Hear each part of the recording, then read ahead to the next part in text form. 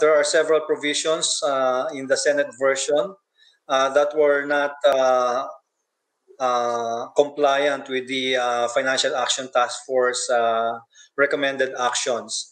However, the lower house version is much better because they captured all of those recommended actions included in our or written in our mutual evaluation report. So would you say then, sir, that your preference, uh, that you prefer the House version more, would you say as well that there might actually be some provisions in the Senate's amendments that would actually work well to our advantage? That is correct. Uh, we prefer the lower house uh, version because it uh, appropriately addressed uh, and was uh, very responsive to the mutual evaluation report recommended actions.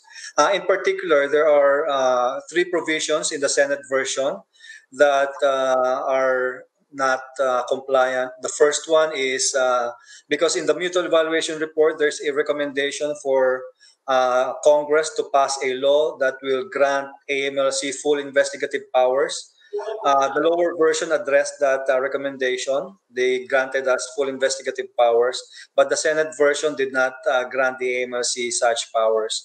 That's number one. Number two is the inclusion of real estate brokers and developers as covered persons. Again, this is one of the key recommendations uh, indicated in our mutual evaluation report. This was addressed by the lower uh, lower house version, but not by the Senate version. And uh, the third one is very minor. Uh, they both the House and the Senate version, uh, they, they both uh, included tax crimes as a predicate offense. However, the threshold uh, was there was a minor difference. As for the lower uh, house, it's 20 million threshold. For uh, the Senate, 25 million threshold uh, amount for uh, tax violation of tax crimes or commission of tax crimes. However, the more important issue is the repeal of the provision that says uh, the AMLC shall not intervene with BIR operations.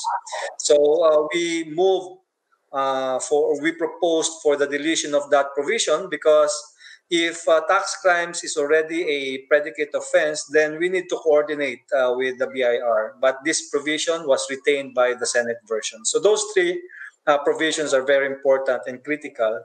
And if these are not addressed, we will still be included in the gray list.